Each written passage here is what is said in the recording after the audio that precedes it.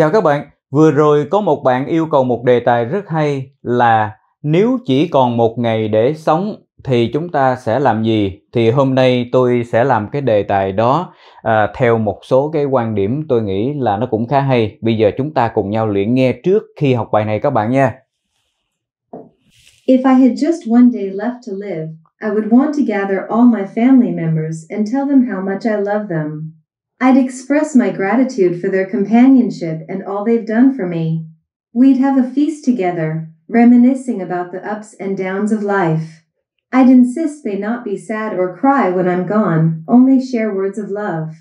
Each person would tell me about their future plans, and I'd want to experience those moments with them right then and there. Especially, I'd take the time to instill in my children how to live well. I'd cherish every moment in these remaining 24 hours with my family. Rồi, bài cũng ngắn, các bạn có nghe được không?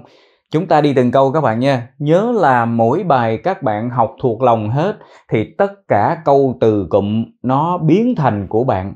Còn nếu các bạn chưa học thuộc lòng, hỏi đến cái từ nào cũng không nhớ thì cho dù các bạn học xong rồi các bạn vẫn không có gì cả ha. Có nghĩa là cái vốn đó đó các bạn gần như không có có nghĩa là người ta nói đến cái từ đó mình đâu có nghe được đâu. Tại vì cứ hiểu mang máng thôi làm sao nghe mà hiểu ngay lập tức được các bạn. Bởi vì các bạn không nhớ nó trong đầu nhớ nó cùng với nghĩa của nó cùng với ngữ cảnh ứng dụng của nó ha. Chỉ có như vậy các bạn mới giỏi được. Bây giờ đi từng câu nào. If I had just one day left to live, I would want to gather all my family members and tell them how much I love them. ok. Học thuộc lòng đó các bạn các bạn còn nhớ thêm một thứ nữa là cái cách mà nó được vận dụng mà bởi những cái chủ điểm ngữ pháp. Có nghĩa là sau khi các bạn hiểu ngữ pháp rồi học thuộc lòng có nghĩa là mình hiểu mình nhớ luôn cái điểm ngữ pháp đó trong đầu. Còn nếu như các bạn không thuộc thì gần như là không có gì uh, trong đầu cả. Nhìn lại thì có thể lúc thì nhớ đấy nhưng mà lúc dùng trong lúc nghe và nói tức thời làm sao các bạn nói được. Thế cho nên phải học thuộc lòng nha. Rồi. If I had just one day. If I have, if I had khác nhau chỗ nào? Ha, có nghĩa là cái câu này là nếu tôi chỉ còn lại một ngày left to live là còn lại một ngày còn lại để mà sống. Có nghĩa là nếu mình chỉ còn lại một ngày để sống ha thì cái đó là thuộc cái thể loại câu gì các bạn? Đó là câu giả định, đúng không? Câu giả định thì mình đâu có viết bình thường được, tại vì nó không có thật ở hiện tại mà. Cho nên á, là nếu không có thật ở hiện tại thì cái mệnh đề if này nè, các bạn cho nó lùi về một thì, tại vì nó không có thật ở hiện tại. Cho nên á, thay vì nói if I have thì các bạn đổi về quá khứ là if I had, đúng không? Nhưng mà nó vẫn diễn tả cái hiện tại là giả định cái việc không có thật ở hiện tại mệnh đề điều kiện mấy các bạn? Hai. Đấy rồi. If I had just one day left to live. Tại sao người ta viết kiểu này? Chắc chắn rằng là khi các bạn dịch từ tiếng Việt ra nó không giống như câu này đâu. Nếu tôi chỉ còn lại một ngày để sống, hay là nếu tôi chỉ còn sống được một ngày, thì lúc đó các bạn lại dịch kiểu khác, đúng không? Rồi. Cái này nè nếu tôi chỉ còn lại một ngày là câu giả định rồi đúng không? Rồi, còn lại một ngày mà một ngày đó làm sao? Một ngày còn lại để sống. Cho nên phía sau này nè, nó dùng mệnh đề quan hệ nhằm giải thích cho cái quan đề này là which is which is left to live. Ha, là cái ngày này ngày còn lại cho nên dùng ở thể bị động là is left thay vì là động từ to live đúng không? Thì bây giờ nó dùng là which is left là còn lại hoặc là các bạn có thể um, nghĩ nó theo một cái hướng khác là đây là tính từ left là tính từ đứng sau cái one day này. One day là sao? One day left có nghĩa là ngày còn lại ha ngày còn lại. Đó thì hiểu theo hai cách đều được các bạn. To live là để sống ha. I would đây là mệnh đề if thì đây mệnh đề would ha. Would có nghĩa là diễn tả um, um, cái cái uh, giống như là cái mệnh đề would là cái mệnh đề diễn tả cái giả định kết quả. Có nghĩa là đây là giả định tình huống không có thật xảy ra. Nếu cái tình huống này nó xảy ra ở hiện tại thì mình sẽ làm gì? Thì cái sẽ này nè là dùng mệnh đề would thay vì dùng will nha các bạn. Tại vì cái sẽ này cũng là sẽ không có thật. Đó. I would want to là tôi sẽ muốn. Nếu tôi chỉ thì tôi sẽ muốn. Muốn cái gì? Gather all my family members. Gather là tập hợp, ha? Mình gather là mình tập hợp. Tập hợp all my family members là là toàn bộ gia đình của tôi lại, hay là toàn bộ thành viên của gia đình tôi, ha? And tell them how much I love them. Và nói với họ là tôi yêu họ biết giường nào, ha? Các bạn hiểu cái tình huống thế này nè nếu nếu mình chỉ còn lại một ngày để sống thì mình sẽ làm gì? Thì cái câu đầu tiên này nó nói đó tôi sẽ tập hợp toàn bộ gia đình của tôi lại. Và trong nguyên một ngày đó ha rồi tôi sẽ nói với họ là tôi yêu họ biết giường nào. Trong cái ngày đó mình chỉ nói yêu thương thôi ha. I'd express my gratitude for their companionship and all they've done for me. rồi. I'd express my gratitude to express là bày tỏ hay là biểu lộ các bạn, ha? Rồi, mà express cái gì? My gratitude. Gratitude là lòng biết ơn. Tôi sẽ bày tỏ lòng biết ơn. Thì có nghĩa là tôi sẽ cảm ơn đó các bạn. Cái chữ sẽ nằm ở đâu? Là chữ sẽ là viết tắt phẩy đờ này nè. Là would đó các bạn. Cái would là phẩy đờ. Had cũng phẩy đờ. Nhưng trong trường hợp này là would. Tại vì cái giả định if đã nói rồi. I would express nếu các bạn không nói được âm đờ còn nói âm đờ nè. I I định nói chữ đờ mà không nói. Yeah, I'd express I'd I'd express I'd express my gratitude. Yeah. I'd express my gratitude for their companionship. Cái companionship đó các bạn là đồng hành. Đồng hành ha có nghĩa là đi cùng đó các bạn tôi sẽ cảm ơn họ vì sự đồng hành của họ. Nha, đồng hành là sao? Là mình sống cùng nhau. Từ nhỏ sinh ra lớn lên mình sống cùng nhau, đó là sự đồng hành. Mình cảm ơn gia đình mình vì đã đồng hành ha and all they've done for me, and all they've done for me. Và tất cả những gì họ đã làm cho tôi. Đã làm cho đến thời điểm hiện tại là đã làm rồi, cho nên dùng hiện tại hoàn thành. They've done they've done for me hmm. We'd have a feast together, reminiscing about the ups and downs of life. Hmm. we we'd have we'd we'd yeah, we'd have we'd have a feast together have a feast feast âm y dài feast là sẽ à, ăn tiệc ha có nghĩa là có một bữa tiệc đó các bạn là ăn tiệc chúng tôi sẽ ăn tiệc cùng nhau ha, hay là tổ chức tiệc cùng nhau. Cái feast là cái bữa tiệc các bạn ha, nó giống như party vậy đó. Rồi, ăn tiệc cùng nhau. Tiếp theo đây đó các bạn là động từ reminisce ha, hay là reminisce. Có hai kiểu phát âm, Anh Mỹ nó hơi khác nhau một chút, nhưng mà tôi thấy trong thực tế thì người ta nhấn vào âm đầu tiên hơn, reminisce reminisce. Nha, reminisce. Mặc dù các bạn thấy có một dấu trọng âm, nhấn ngay chỗ chữ nis là trọng âm chính, reminisce vậy đó các bạn nhưng mà trên thực tế người ta nói là reminisce. Ừ, rồi. Nhưng mà ở đây là reminiscing reminiscing. Đó tại vì nếu mà thêm in người ta đọc ta nhấn vào chữ nis reminiscing. Thì cái động từ remi reminisce hay là reminisce nó là cái gì? Hồi tưởng. Hồi tưởng các bạn có nghĩa là nhớ về những cái kỷ niệm cùng nhau là hồi tưởng. Chúng tôi sẽ ăn tiệc cùng nhau cùng hồi tưởng ha cùng hồi tưởng about the ups and downs of life. Hồi tưởng về những thăng trầm the ups and downs là những thăng trầm trong cuộc sống.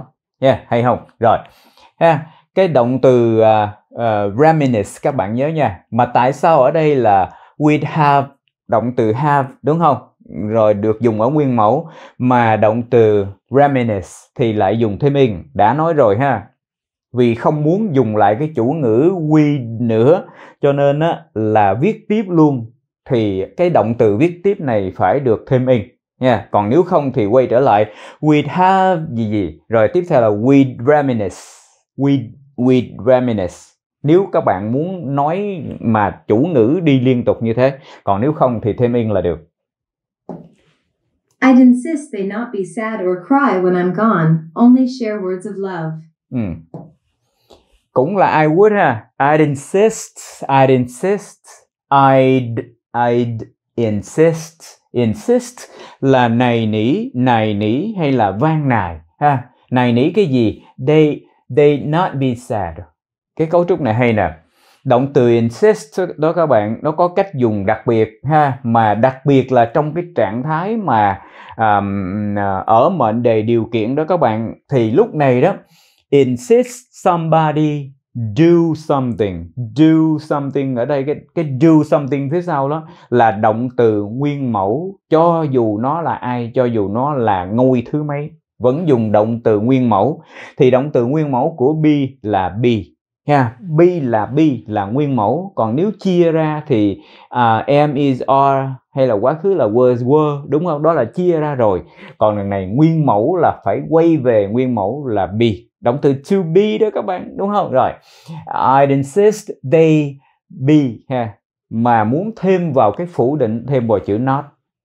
Các bạn đừng hiểu lầm nha đừng nói là they don't be sad nha.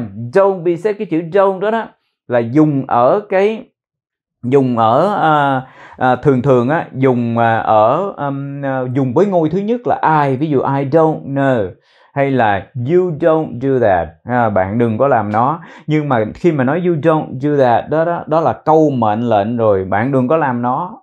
Thì nhưng mà ta nói don't do that mặc định là ám chỉ cái người thứ hai là you đúng không? Nhưng mà trong đây đó là người ta đó không phải là một câu mệnh lệnh tách rời mà nó là một câu nằm trong một cái câu dài thế này. Thì chỉ cần thêm chữ not thôi không cần thêm chữ do đâu. Thêm chữ do not nó biến thành chữ don't thì trong câu này người ta thêm chữ not là có phủ định rồi không thêm chữ do mà không thêm được đâu nha. Không nói là I insist they don't be sad đâu nha mà I insist they not be sad. Ha nguyên mẫu thêm chữ not ha or cry ha or cry. They they uh, này các bạn they not cry. Đại loại vậy ha when I'm gone khi tôi ra đi. Đó tôi sẽ bảo họ hay là tôi sẽ van nài họ tôi sẽ bảo họ là không buồn à, không buồn hoặc là không khóc when I'm gone khi tôi ra đi Now, only share words of love only share words of love chỉ chia sẻ hay là chỉ nói những lời yêu thương mà thôi yeah Each person would tell me about their future plans, and I'd want to experience those moments with them right then and there. Mm. Each person would tell me. Ở đây dùng chữ would luôn nè. Each person would tell me about their future plans. Mỗi người sẽ kể cho tôi nghe về cái dự định tương lai của họ hay là về kế hoạch tương lai của họ, future plans. And I'd want to experience I'd want là tôi sẽ muốn would đó các bạn I'd want to I'd, I'd want to experience those moments with them. Và tôi muốn um, như là tôi muốn trải qua hay là tôi muốn trải nghiệm những khoảnh khắc đó trải nghiệm là sao? Họ kể về kế hoạch tương lai của họ họ thực hiện cái này, họ làm cái kia, họ mong là thành công thế này, họ mong là thành công thế kia, họ sẽ ở nơi này, họ sẽ đến nơi kia. Thì những cái lời nói đó, tôi sẽ muốn trải nghiệm cái đó với họ, cùng vui với họ, cùng nói chuyện với họ ha, là I want to experience those moments. Tôi sẽ trải nghiệm những phút giây đó với họ right then and there. Right then and there. Cái then and there đó các bạn là ngay tại cái thời điểm hiện tại. Có nghĩa là tôi muốn trải nghiệm cái phút giây tương lai đó ngay tại thời điểm hiện tại. Right then nha. Yeah, right then đó các bạn là có nghĩa là tại cái lúc mà nó xảy ra nha. Yeah, có nghĩa là giống như là tôi muốn trải nghiệm cái cái những cái giây phút đó đó. À, tại cái thời điểm mà nó xảy ra trong tương lai đó nhưng mà ở cái thời điểm mà họ nói với tôi nha ý nghĩa là như thế tại vì cái cách dùng tiếng anh đó là mình phải hiểu nó rất rõ như vậy đó các bạn Especially, I take the time to instill in my children how to live well. Okay. Especially, đặc biệt là À, I take the time. I would take the time. I I take the time. Tôi sẽ dành thời gian ha, to instill my children. Instill động từ instill có nghĩa là truyền đạt ha truyền đạt có nghĩa là nói làm sao để cuối cùng người ta hiểu người ta thấm vào trong đầu là instill instill my children how to live well là đặc biệt tôi sẽ dành thời gian để để dặn dò hay là để truyền đạt dặn dò có nghĩa là nên làm này nên làm cái kia thế này thế kia để dặn dò các con tôi làm sao để sống cho tốt làm sao để sống cho nên người how to live well ha rồi I'd cherish every moment in these remaining 24 hours with my family. ừ. I cherish động từ to cherish cherish là trân quý hay là trân trọng, các bạn? Ha, trân quý. Tôi sẽ trân quý every moment, từng khoảnh khắc, từng khoảnh khắc. In these remaining 24 hours là 24 giờ còn lại này 24 giờ còn lại này. Remaining là còn lại, ha. These là này. With my family, với gia đình của tôi đó, các bạn thấy hợp lý hay không? Có nghĩa là nếu ai đó hỏi mình, nếu mình chỉ còn một ngày để sống, mình sẽ làm thế nào? Thì đây là cái bài hùng biện của tôi nha. Còn bài hùng biện của các bạn như thế nào? Nếu các bạn cảm thấy cái này là hợp lý, các bạn lấy nó biến thành cái của mình để khi gặp cái đề tài này, mình có thể nói một cách tự do. Nhưng mà các bạn phải học thuộc lòng nha. Nếu không, ngôn ngữ không biến thành cái của bạn đâu nha rồi, bạn nào đang xem mà chưa đăng ký vào kênh thì các bạn nhớ bấm vào nút đăng ký hoặc là subscribe vào kênh của tôi là Thắng Phạm các bạn nha. Bây giờ tôi sẽ giúp cho các bạn đọc từ đầu đến cuối. If I had just, just one day, if I had just one day left to live, left, left to live, live, live, live, I would want to gather, I would want to gather, to gather all my family members all my all all my family members and tell them and tell them how much I love them, how much I love them. I'd express my gratitude. I'd I'd I'd I'd express I'd express I'd express my gratitude, gratitude, gratitude, gratitude for their companions, companions, companionship, for their companionship and all they've done for me, all they've done, all they they've done, they've done for me.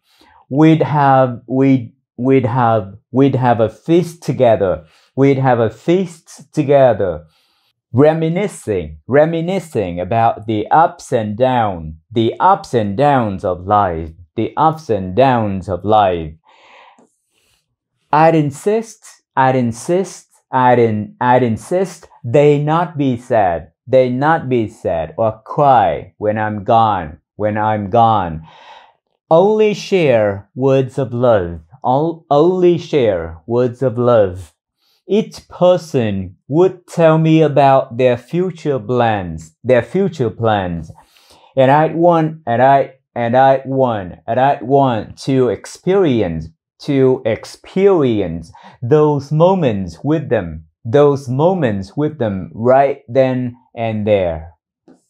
Especially, especially, I take the time, I, I take the time to instill my children, children, children, how to live well, how to live well. I cherish, I cherish every moment in these remaining, remain, a, main, main, remaining 24 hours 24 hours with my family. Rồi đấy các bạn, bây giờ chúng ta nghe lại từng câu nha. If I had just one day left to live, I would want to gather all my family members and tell them how much I love them. Nếu chỉ còn một ngày để sống, tôi sẽ muốn tập hợp tất cả các thành viên trong gia đình tôi và nói với họ rằng tôi yêu họ nhiều như thế nào. I'd express my gratitude for their companionship and all they've done for me. Tôi cảm ơn họ vì họ đã đồng hành cùng tôi và những gì họ đã làm cho tôi. We'd have a feast together, reminiscing about the ups and downs of life. Chúng tôi sẽ ăn một bữa tiệc cùng nhau, hồi tưởng về những thăng trầm của cuộc sống. I'd insist they not be sad or cry when I'm gone, only share words of love. Tôi sẽ bảo họ không được buồn, không được khóc khi tôi ra đi, tôi chỉ muốn nghe những lời nói yêu thương. Each person would tell me about their future plans, and I'd want to experience those moments with them right then and there. Mỗi người sẽ nói cho tôi biết về kế hoạch tương lai của họ, và tôi muốn sống những khoảnh khắc tương lai đó với họ, ngay tại thời điểm hiện tại. Especially, I'd take the time to instill in my children how to live well. Đặc biệt, tôi sẽ dành thời gian dặn dò các con tôi phải sống như thế nào cho nên người. I'd cherish every moment in these remaining 24 hours with my family. Tôi trân trọng từng khoảnh khắc trong 24 giờ còn lại với gia đình.